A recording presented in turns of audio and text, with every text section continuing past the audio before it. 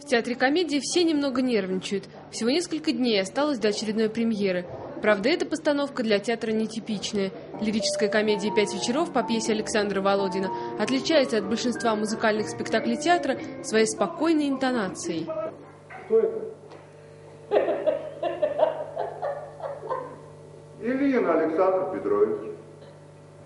Какой Ильин? Остановился у вас. Временно. Очень приятно. Ты почему не сказал, что получил двойку? Какой ты девица, он сказал, а мне ни слова. Я никому ничего не говорил и вообще не желаю свои дела посвящать посторонним. А он не посторонний. Он, он знал тебя. Знал, когда тебе было два года. На репетиции режиссер Анна Трифонова смеется. Результат ей нравится.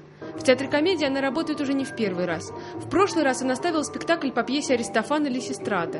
В этот раз материал относительно современный. Пьеса была написана в 1959 году, но ее содержание актуально и сегодня, уверен режиссер. Как это прожить, чтобы это была э, сегодняшняя история? Вот. Материал очень трудный. Это на уровне Чехова с несколькими планами, подтекстами.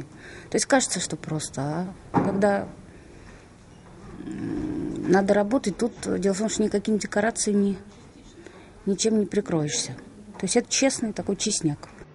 «Пять вечеров» – рассказ о любви, о разлуке и о встрече. Рассказ о человеке – совсем молоденькая, для вас честь должна быть дороже всего. Я, между прочим, ваш год уже славе растила. Ну все, побежал.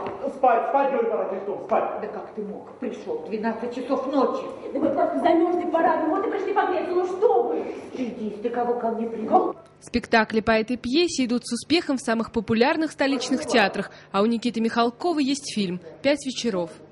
Взявшись за постановку, Анна Трифонова не гналась за модой. Просто пришло время сделать этот спектакль. Возникла внутренняя потребность. Может быть, именно поэтому постановка получилась такой теплой. Екатерина Оруджева, Максим Веселов. Объективно. ННТВ.